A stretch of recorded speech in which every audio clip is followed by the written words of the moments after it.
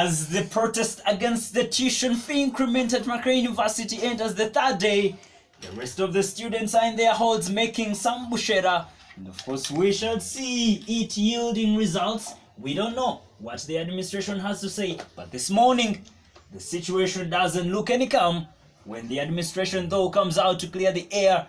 that there is no fees increment, but because of selfish individuals that are trying to lay strategies for their politics, they